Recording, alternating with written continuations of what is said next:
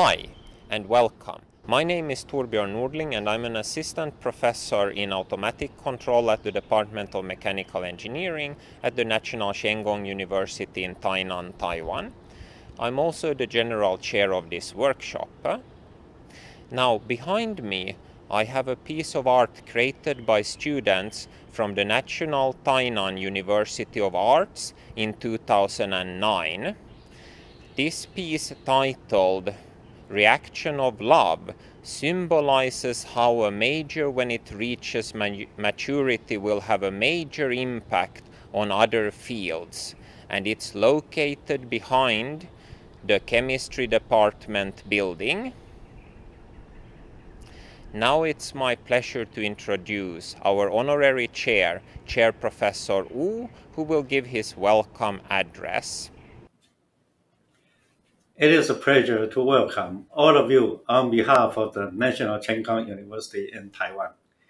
I'm proud that our team, the NCKU Parkinson's disease quantifiers, are one of the finalists in the OpenCV AI competition. They are also arranging this workshop. Now let us all learn computer vision and AI using the OAK-D camera together. Hello and welcome. I am Akram Ashjani, postdoc researcher at the Department of Mechanical Engineering of National Cheng Kung University in Taiwan and assisting chair of this workshop. It is my honor to introduce Mr. Anthony Newman, who is a senior publisher with Elsevier. He is currently responsible for 17 laboratory medicine and biochemistry journals. He joined Elsevier over 30 years ago and has been publisher for the last 20 years. Before then, he was the marketing communications manager for the biochemistry journals of Elsevier. By training, he is a polymer chemist and was active in industry before leaving London and moving to Amsterdam in 1987 to join Elsevier. He will present how to write great papers and get them published. Please enjoy it. So, hello, welcome. My name is Anthony Newman. I'm publisher at Elsevier in Amsterdam. And I'd like to thank the organizers for inviting me here to give this presentation about how to write great papers and get them published, of course.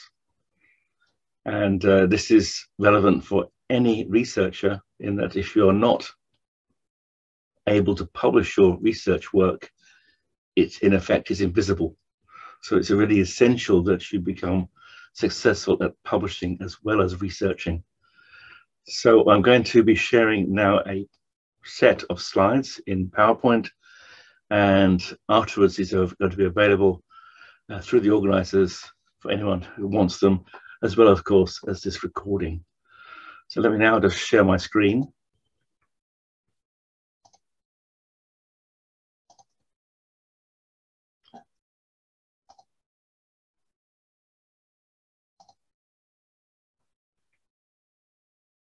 And you can now see uh, the slideshow.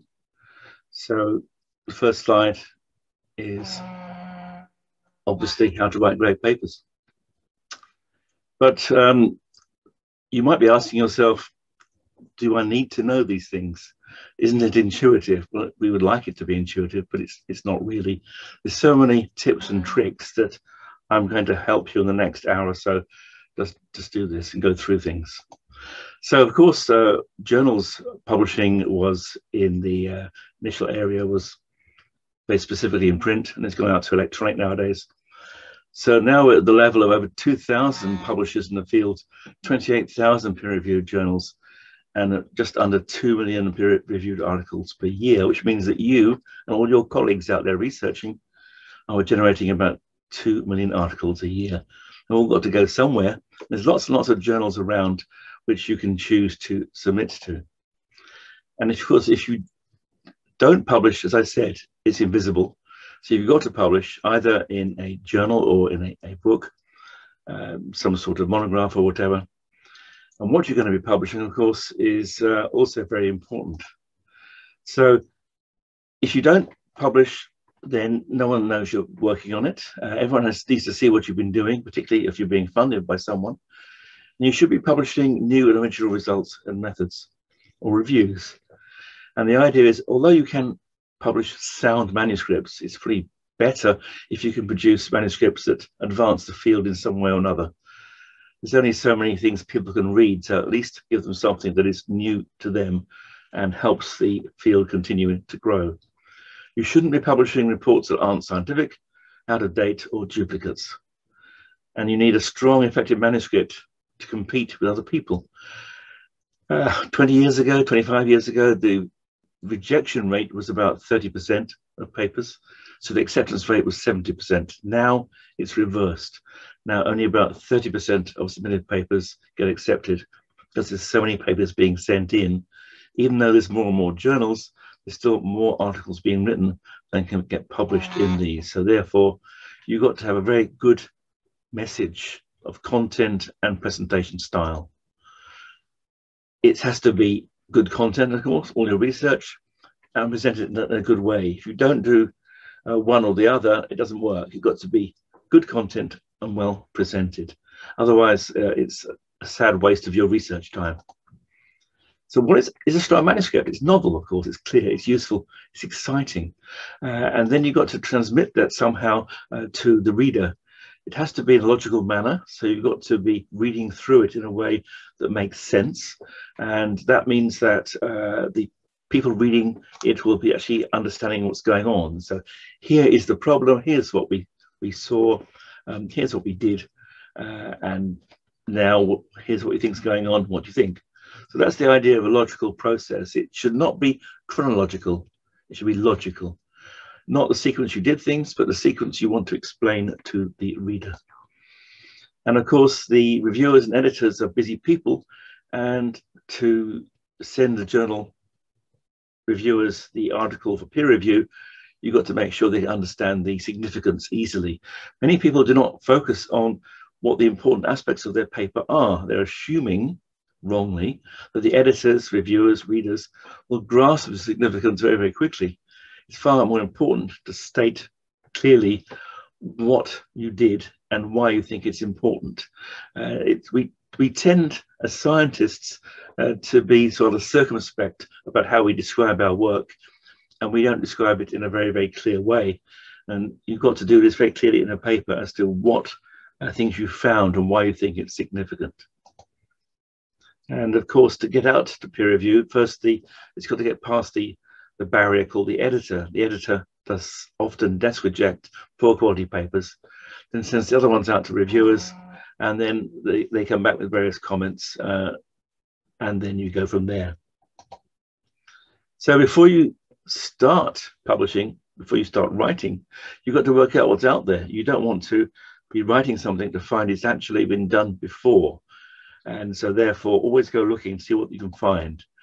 So you've got some strategic information gathering. You, you go um, online, you do searching in say Scopus Web of Science or PubMed or whatever, and, and see what's available there. See what you know, what you don't know. Articles you don't know, then record them, read them through, and see if you're going to use them or not uh, in your references. And that's the, the important aspect because you've got to know what's the latest research out there too. And before you start writing, you've got to say, okay, why am I doing this? Um, what have I researched? Is it new? Is it interesting? Is it a hot topic? Has it given solutions to some problems like other people have said they couldn't do something? Now you, you can. And have you got all these things all in place? Uh, are you ready to publish? Is there anything else you still need to do? An extra experiment or not? If you got to the stage where everything is sort of explainable, uh, then that's the point you can start thinking about preparing for your manuscript. Then you've got to ask yourself the question, what sort of manuscript? A full article so, or a short article, um, review paper, uh, and perhaps even some new manuscript types, for example, uh, data in brief or, or, graphical reviews or other similar things. If you're not sure what's best, uh, check with other people, uh, perhaps your supervisor or colleagues, because they also have a good idea what's the most important, most effective way of uh, presenting your research work. If you're not sure whether you should do a full article or a short article, just look at the uh, the various length you're going to be writing it and see what some journals expect to have in, in terms of articles length, uh, and that will help you. I would not write the manuscript first before choosing your journal in case they've got certain rules. If you've just written a very long, wonderful article and then you choose a journal, and it turns out they've got a, a limit on words, word count, and you're over that, that means you've got to edit right back your nice uh, manuscript. So far better to uh, to work out what the rules are before you start writing. So to find the right journal, you've got to be thinking about what's good for you, but also more importantly, what's good for the reader. Where would the reader be expecting to find this article? Where's their comfort zone of this particular topic area? Look at your references. Where are you going to be citing? Are there certain journals there which are useful and uh, often come back? Uh, so all of these various potential publications are called candidate journals. And you and your perhaps co-authors can see how many you've got, three, four, five, six, seven, whatever. Uh, ask yourself questions like, how good is the peer review? Is it really, really a, a high quality, top flight journal like Nature or Cell or Science, where the peer review is really hostile um, and uh, it's difficult to get published? Or is it quite the reverse? So almost no peer review, uh, and so that's not helpful at all. So always work out what you think's happening or know from other people's experience about the peer review uh, process of that journal. How about the journal's audience? Who's going to read it? Well, we assume that the authors equals the readers. Um, so therefore, if you can find articles in there similar to your work, then that's a good place for your work to be published. And how fast is a journal in making a decision or in publishing your work? That's also important, important to know. And of course, the things like the impact metrics, the uh, the, the SNIP, uh, the SJR, uh, the, the CiteScore, the impact factor, and so on. If you need to publish open access, uh, because either you've been funded or your university or institute uh, has this policy, then it's another aspect as well. And also make sure, particularly if you're going to publish open access, that the journal you're going to submit to is a real journal. There's too many fake journals out there or predatory journals out there. Uh, and so if you're publishing open access, then look at the directory of open access journals, DOAJ, because that, if it's in there, then it, it's in effect a real journal. If it's not, it probably isn't. So to find the right audience, um, you've got to sort of work out what's the best thing to do. You can look at other various journals, what they've been publishing, and see if it's the right sort of topic areas for you. Ask your university library, because they offer advice about things like the processing time of, of journals. And of course, your colleagues and supervisors, people who published before, might be helpful uh, in giving you some advice here.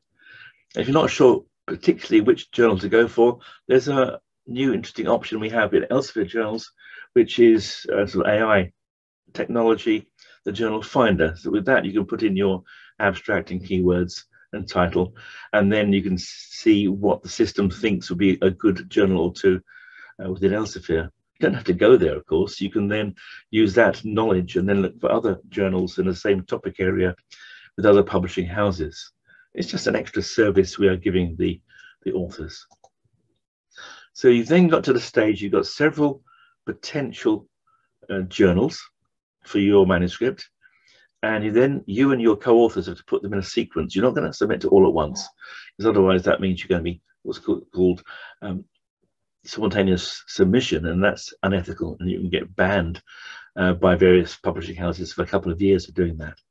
And so once you've worked out the sequence of your submission, you hope it's going to be journal A, it might be journal B or C or D, but you hope it's going to be journal A will be successful. And then so what you do is you then look at the guide to authors of Journal A, because that will guide you in writing your manuscript. And when you've done that, then if you need to change your manuscript because Journal A declines you, then you look at Journal B's guide to authors, and then you edit your manuscript to match what Journal B wants to have. That's sort of the simplest process. Now, the guide to authors is there to help you, but it's also there to help the uh, the, the editor better uh, understand uh, what you're doing. So they ask you to do it in a certain way. They ask you to do lay out the text, uh, the figures a certain way. They ask all sorts of different things uh, just to make it easier to evaluate your work. So always see the guide to authors as a, a great useful tool to have um, to get the manuscript in a way that editors can see it properly. Now, some editors are, are quite laid back about receiving articles that aren't in the style of the guide to authors, and some are not laid back. They're really, really annoyed. And so therefore you don't know who's who. So always assume that the editor you're sending to would like to see your manuscript link, linked and using their guide to authors. And that's the best way to play safe. And again, there's all sorts of things that, that go wrong. Um, here's what an editor said to us. Uh, he gets papers out of scope. No one bothered to read the scope of his journal, which is a shame. And the guide to authors was there for a reason, and not enough uh, of these manuscripts are in that format. And many people do not send appropriate reviewers or no reviewers, and uh, the comments of reviewers are not responded to appropriately. The English quality is poor, and sometimes manuscripts come back in without any revision whatsoever, hoping no one will notice. Of course, they notice. And so, from that point of view, you've really got to be working with the editor. They want to be um, an editor to help people get published, to help the field move forward. So, you work with them, they're thinking people too, and that should help you uh, in your process towards getting a good published paper. Now, of course, when you are writing, you're writing in a scientific language style, and no one, English first language, English second language, is ever taught how to write scientific articles.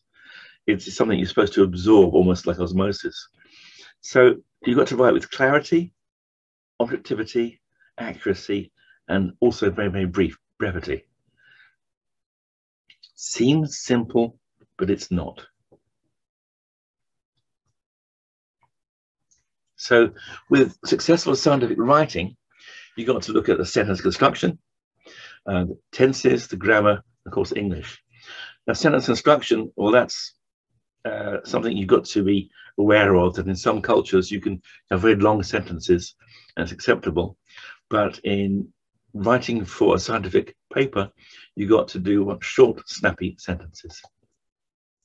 And of course, the, the guide authors will tell you even about language because sometimes you have some journals will say British spelling only or American spelling only or whatever. Normally they say either British spelling or American spelling, not a mixture. So you and your co-authors have got to use the same spell checker, basically. So when you're doing short sentences, uh, short, snappy sentences, if you have more than one concept in a sentence, it's too much, and so therefore break them up. It can be confusing think of it like uh, speaking when you when you're writing giving a talk or something then each sentence is just a simple short few words and you take a breath and go further with the next sentence. The same thing with writing scientific papers. Now with the authorship you and you, you and your co-authors we assume are all qualify uh, but maybe not. Uh, the important thing is who is an author who's allowed to be an author. Most journals have a, a, very simple rule on this. They go by the International Committee of Medical Journal Editors, who say that an, edit, an author must contribute substantially to concept design, data acquisition, interpretation, and so on, be involved with the drafting or revising, and approve the final full version, and also agree to be accountable for all aspects of the work. All four things make you an author. If you're not one of those, you're you're different. You're actually called an acknowledged individual. So someone who perhaps helped with the stats, or someone who helped uh, lending a cell line or something, uh, someone who um, shares some software. These people can be acknowledged individuals, but they're not co-authors because they weren't involved in the concept, design, drafting, revision, and a final version approval. And that, that's important to, to think about. Now, in terms of the authorship sequences, uh, who's first author, who's last author? Um, in most areas, the first author is uh, the person who's done most of the research work and gathers the data and arranges pulling the paper together, uh, making sure all the other co-authors contribute and make sure all the other co-authors agree to the final version and so on. And that person normally submits it to the journal. then the person, the name at the end, the senior author, is typically the person whose lab it is, or the person who's uh, who's the uh, supervisor of the postdoc or whatever. Uh, and, and so that's the normal process. But in some fields like physics, it's alphabetical. So it's no, literally all the way through. You can't tell who's the who's the person who did most of the work and who's the person who's the senior author there. But uh, you can see looking at the journal of choice, journal A, how it's laid out, and that's how you lay it out. You shouldn't leave out any authors. They're called ghost authors, um, because if someone has uh, been involved somehow and they, they qualify because they've been involved in, in, the research gathering and data gathering interpretation, reach out to them, involve them in the authorship of this particular paper, and add them as uh, a co-author. If they've left the university and gone somewhere else, that's okay. You then put an asterisk next to their, their name at the top. At the bottom, there's a footer. You say, now at University X, quite simply.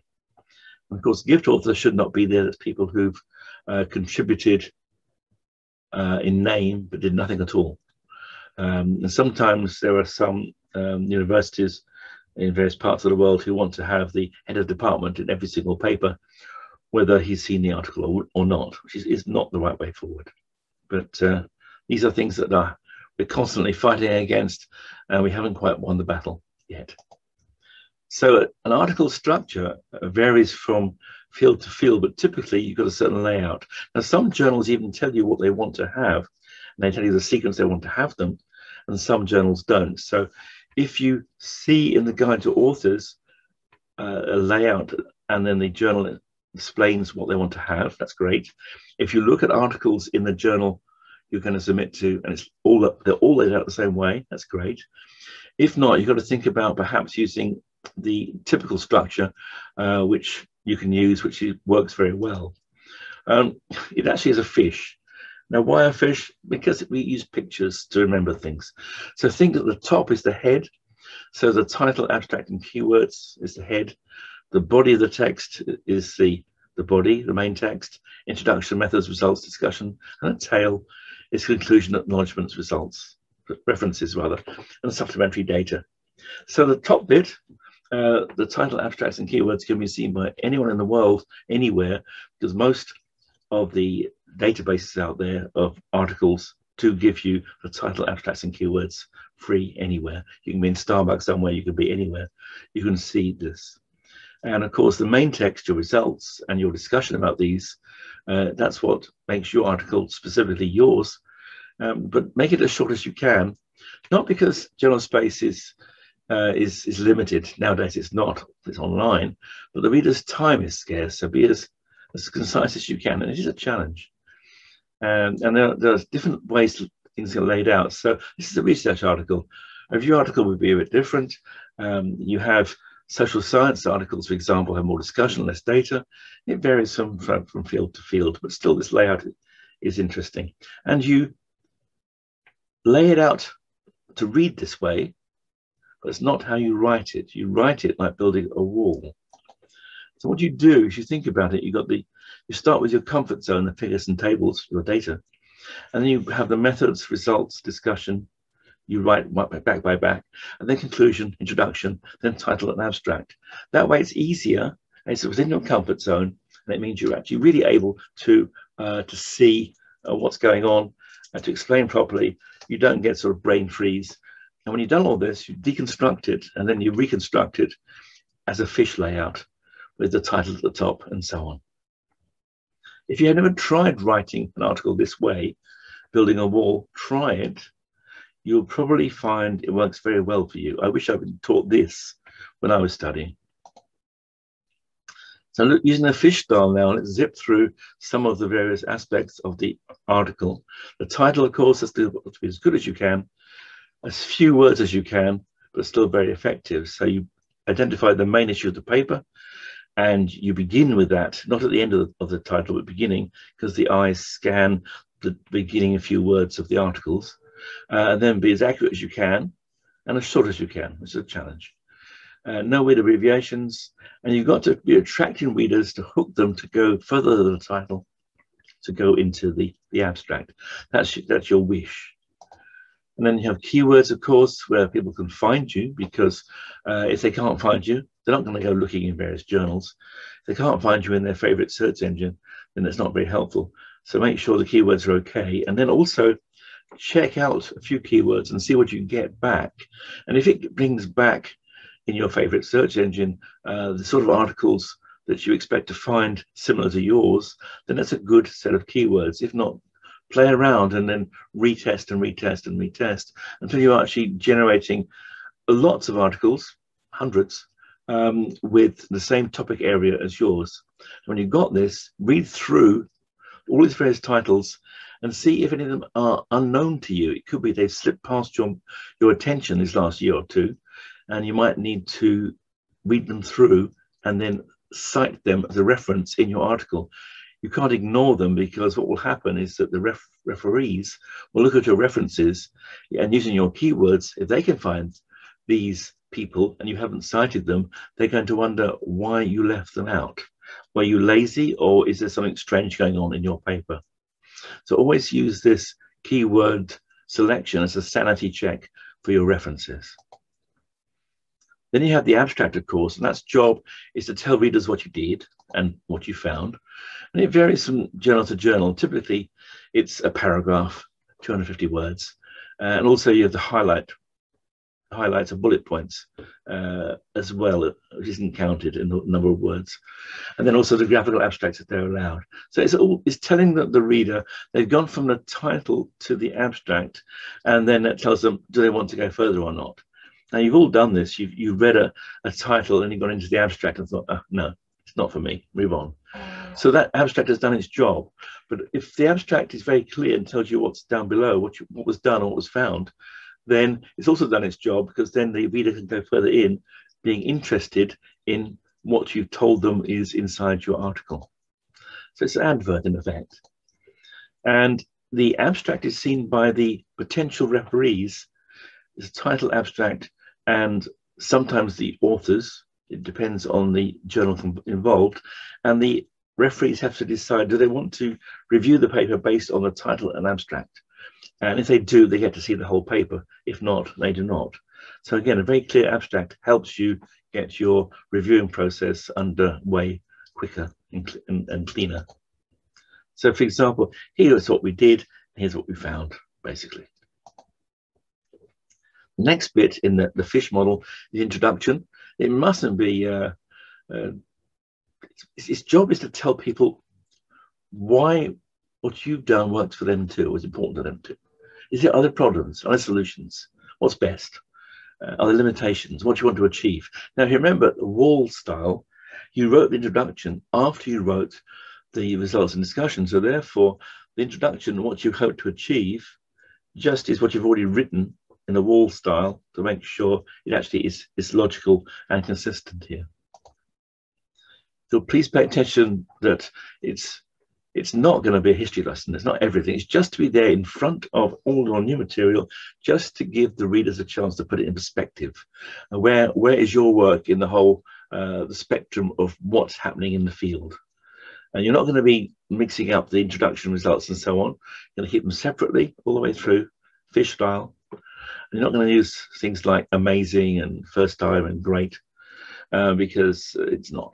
Um, only use relevant references because the references job is twofold. One is to tell the reader where to go and look for more information, more detailed information.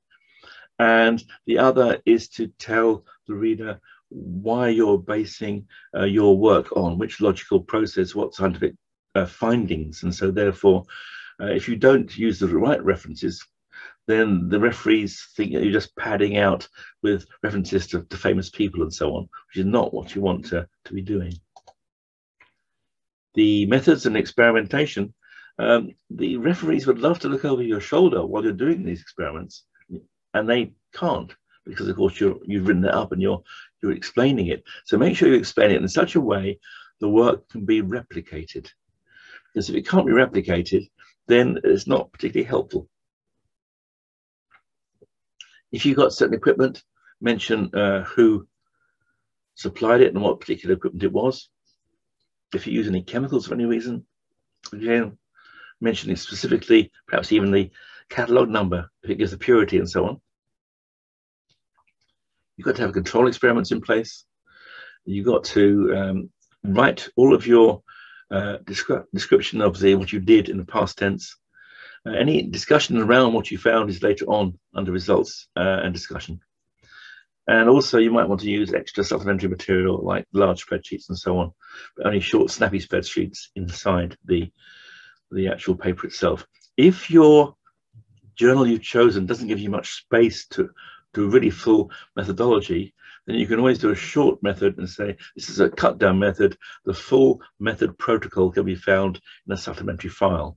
So you do not say, I couldn't give all the details because it didn't give me the space. There's always a way to do that.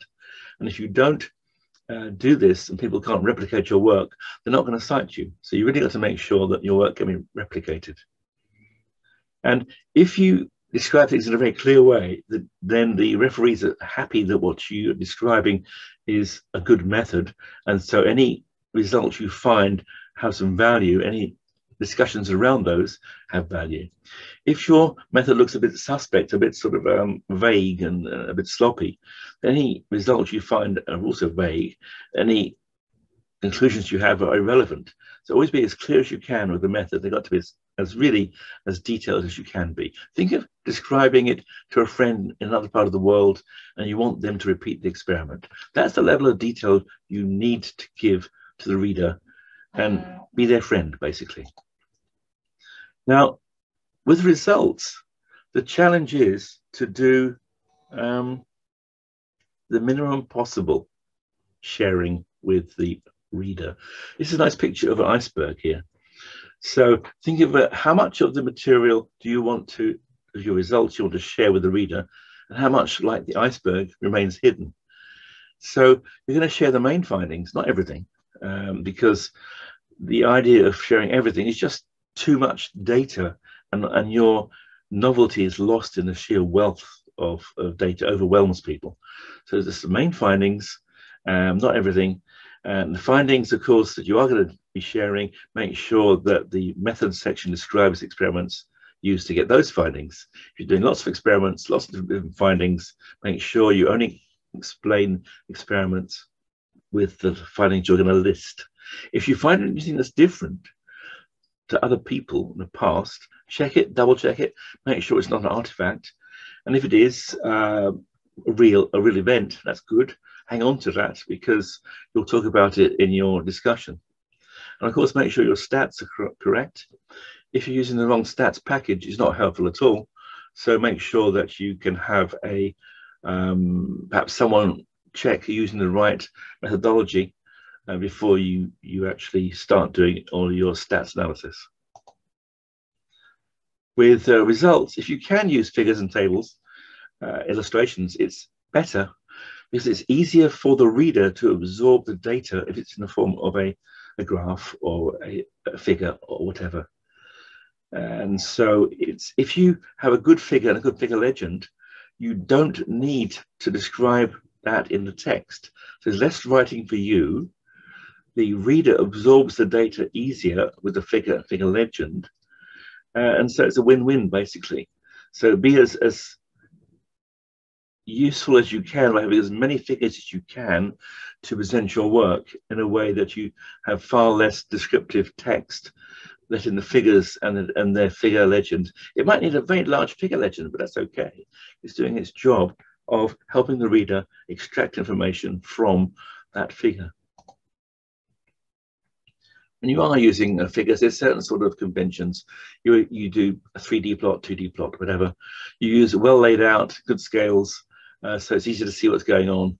If it gets too confusing, then think about breaking into two separate plots uh, and explain what the two different things are. Any photograph uh, should have a scale marker, of course. There should be no text in the photographs. Uh, uh if they are, then, then make sure it's in English, but preferably uh, no text at all. Better to have that as a figure legend.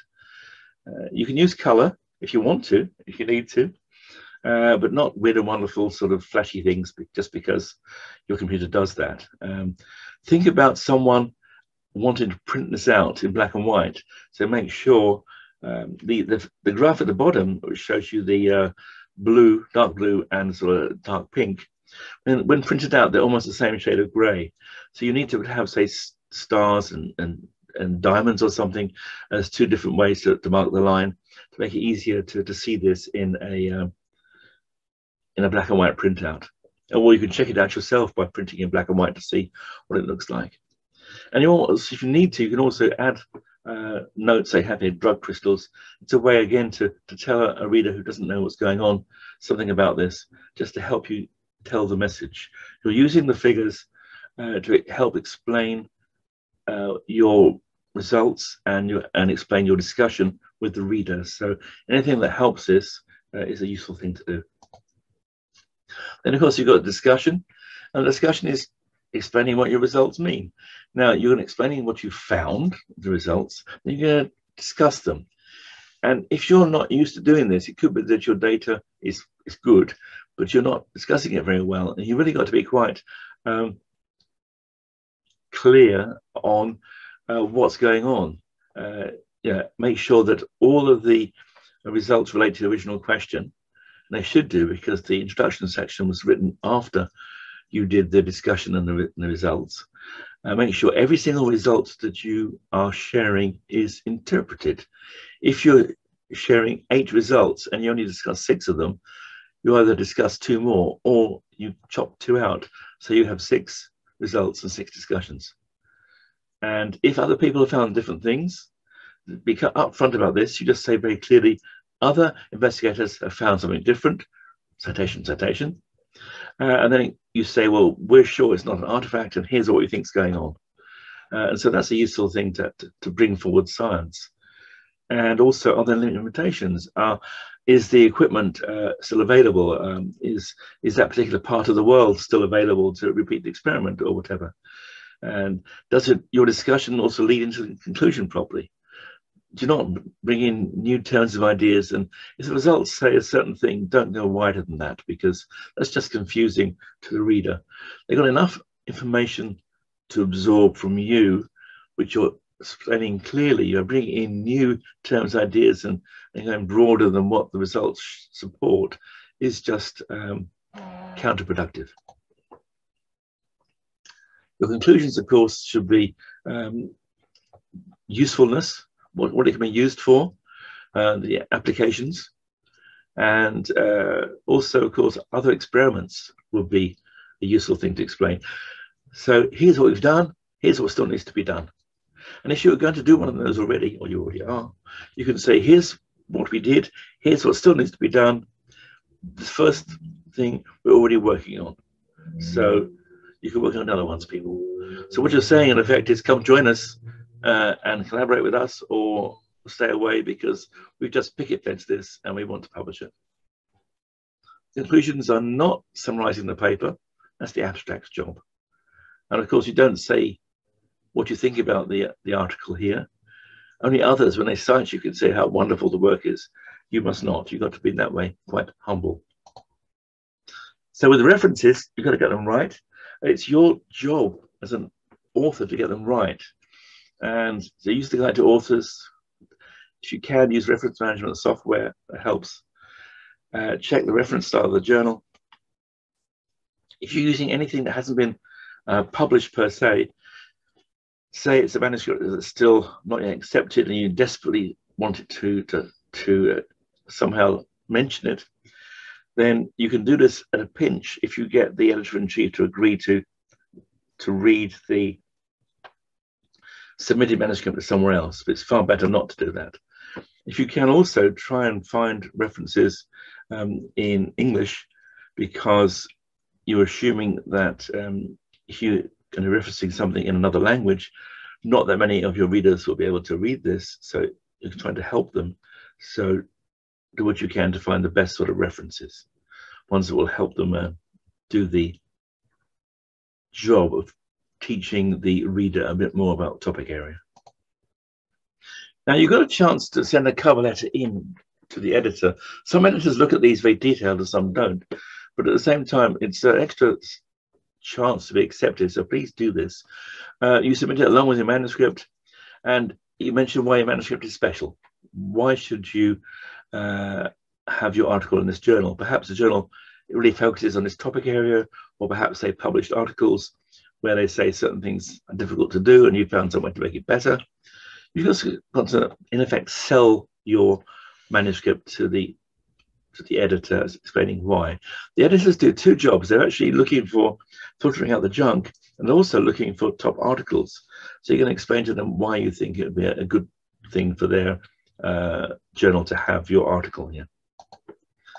And so when you do that, you then also mention potential referees. If the system doesn't let you do this in the submission process, uh, Elsevier insists, for example, you've got to do this in part of the submission process, but some publishing houses do not.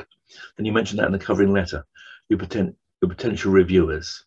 Um, why do you mention potential reviewers? It's to help the editor review your article should they want to do this.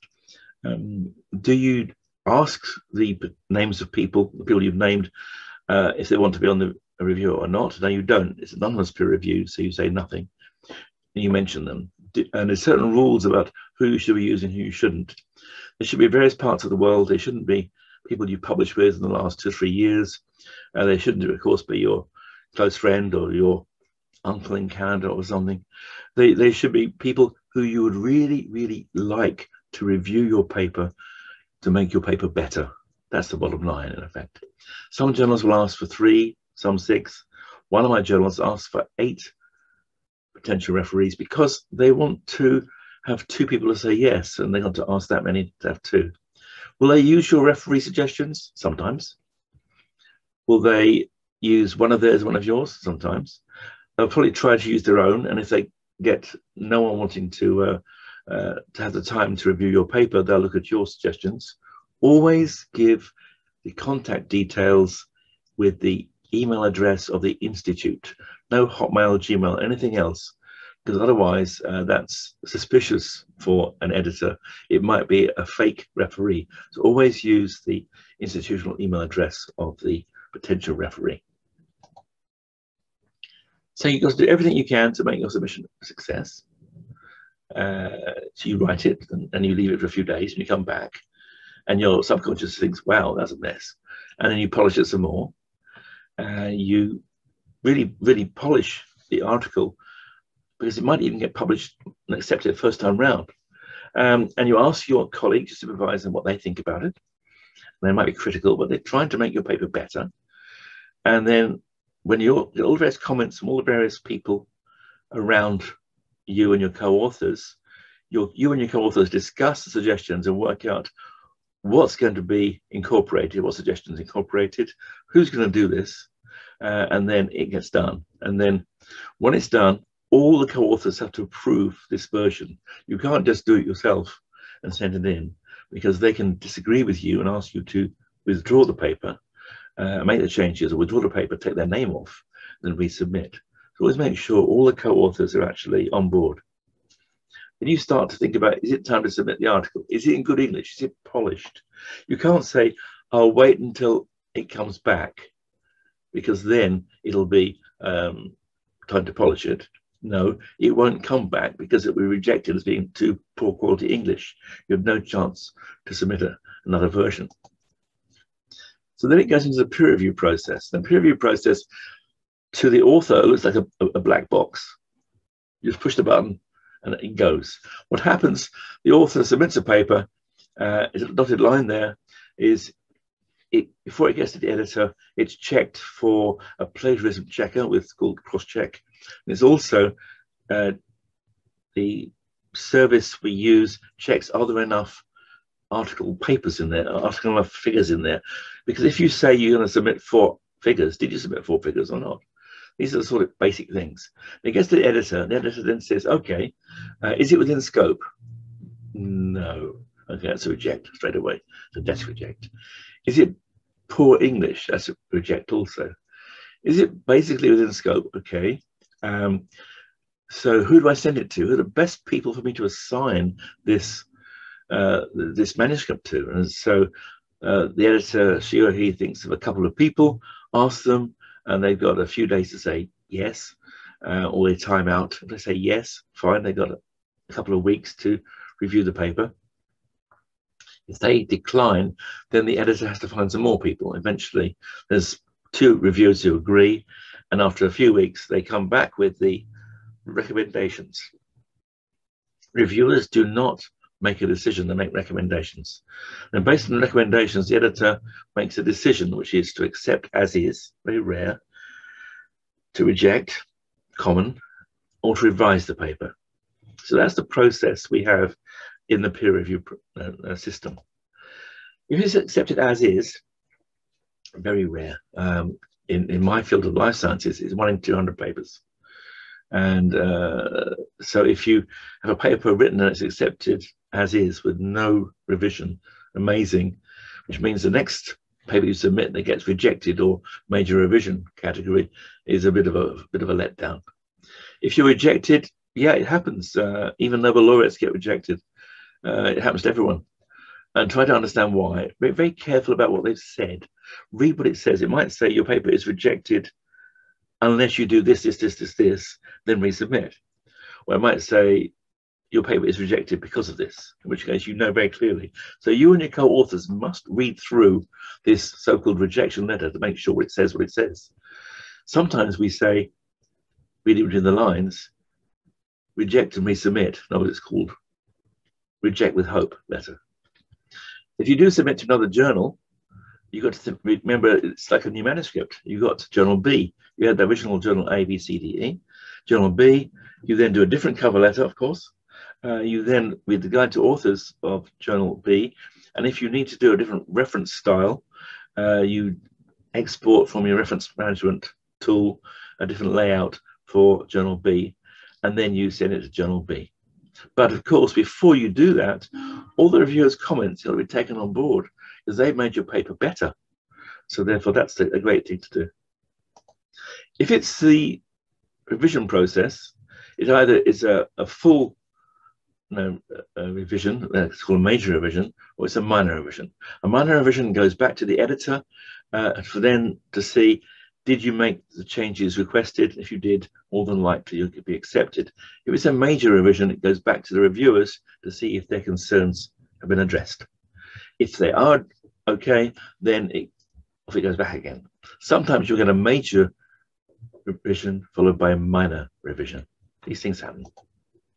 So that's some more details about that. When you are replying with the revision revised manuscript, you do a, a response letter. It's basically uh, it's a cut and paste of each reviewer's comments. So all the various comments to reviewers, reviewer A, reviewer B, point one, two, three, four, five, and so on. You just cut and paste you each comment and then your response below it. Some journals ask you to send in two versions, a clean version and a color-coded version of the revision to help make it easier for the editor to see what you've done. Do not say, thank you for all the comments, we made all the changes, it's now fixed, without showing what you've done, because that will annoy the referee, sorry, the editor intensively, because they don't know what they were asked to do and what you did, because that was perhaps 25, 30, 40 uh, manuscripts ago that uh, they did this. So always be very clear what you've done and why you've done it. Um, some journals even ask you to use line numbers and page numbers. So just make sure you, you do what you're asked to do. If you don't like a particular comment um, and you don't disagree with it scientifically, then you and your co-authors can then write a rebuttal uh, to the editor-in-chief saying that you think the reviewer was wrong and explaining why. Be very polite. Remember that this comment, this rebuttal, will be forwarded to the referee more than likely. So, and they've given their time for free to review your paper. So just, just be nice. Obviously, you know, perhaps the reviewer hadn't seen this recent bit of research, uh, and here's why we want to have this particular bit of information left as it is. And if the editor agrees with you, then that will stay. So that bit of your manuscript stays in the record of science forever because you've argued that it should not be changed to match the reviewer's thought process. And of course, when you do get the comments back from the editor with all the referee's comments, read them all through. And then when you read them all through and you and your co-authors decide who's going to edit what, who's going to add what, when you've added all those changes, then go through and polish up the manuscript again making English better because you've added more text. And if you haven't done polishing on the revised paper, so only the original has a good English, then it really looks messy and the chance of being accepted drops tremendously. So, so basically, it's not stupid. It's not, it's not difficult. Just, just you've got to be consistent. Check, double check your work, tell a logical, clear story, and make sure that referees' comments are taken on board and making it better. They make your paper better. They don't go into a list of co-authors. They improve the number of downloads you get, the number of citations you get. So it's great that they care enough to to do this for your paper. But, but make sure that by doing this, you're more likely to be one of the 30% group than the 70% group. Of course, you also got to think very briefly about publication ethics. There's lots of things around this, and I'm not going to go into this too deeply. But um, as authors, we've got lots of rights and privileges, but also we've got to be ethical. Um, so there's things like falsification of results and images. That's a whole separate thing. In publication, you've got things like plagiarism, whereby you're copying yourself which is self-plagiarism. Uh, you are copying someone else's work without citing them. Uh, you perhaps are uh, not not listing other people in your work, so that means you're not you've got ghost authors. And it might be you've got conflicts of interest you haven't stated as well. So you've really got certain things going on, you've got to be very aware of around uh, ethics. This whole workshops on publication ethics. Um, and if you go to here, the Researcher Academy, then there's articles on how to become a good peer review person, how to become uh, a better author, uh, how to deal with conflict of interest statements properly, uh, how to better uh, do grant requests, grant proposals, uh, whole articles about ethics and figure manipulation and understanding what can and cannot be done and things about what you can share, what you can't share, and so on. So lots and lots of things are here. And it's a great resource that's there. But of course, there's only so many things you can talk about, as I've done in, in an hour. I could easily do this for three hours, but we don't have three hours. And then that's the reality. So your university library, you might not even know where it is. Go there, talk to them. They got all sorts of useful information for authors, impact factor, time to first decision, all useful things like that. And of course, check if there's any writing courses. You had a earlier, there was a, a great presentation uh, by a colleague uh, presenter on how to write articles. And this again is, is really good, useful information for you to use. If you're going to be publishing open access, really see what's going on. That the policies are changing so fast that the only real people who know what's going on is your librarian. because They're the best place to go to know the current situation. And of course, if you do have uh, journal editors or board members on campus who are linked to a particular journal, ask them for help occasionally. You don't go stalking them, but now and again you can go to them and say, look, um, this is the title I'm thinking about using. Do you think it's okay or should it be a bit differently? Yeah. And that's that's accepting the fact that these people in their spare time are working with other journals. And so the, fact they are, are linked to a journal means they do care about publication and they might well help you become better. They're not going to polish your manuscript for you. You're not going to send them the paper and say, please polish this and send it, send it back to me. That's not what it's about. There are professional text services that do that. No, it's just to ask their advice as a seasoned published author and editor or board member on um, publication process and suggestions. Now, there's questions coming up in a minute, and so therefore uh, that's the point when I will be live to answer these. Um, there's a couple of other resources here which you might find of interest. This is um, a long workshop, two-hour one uh, on YouTube here, and there's another one, one-hour one on how to be a, a good referee. There's also in the Researcher Academy a short little uh, recording, about seven or eight minutes, on how to write a good cover letter to go with your manuscript. So that basically is uh, this one-hour presentation, uh, well, short one hour to allow for questions. Um, but if you've got any questions, please contact me. There's my email address.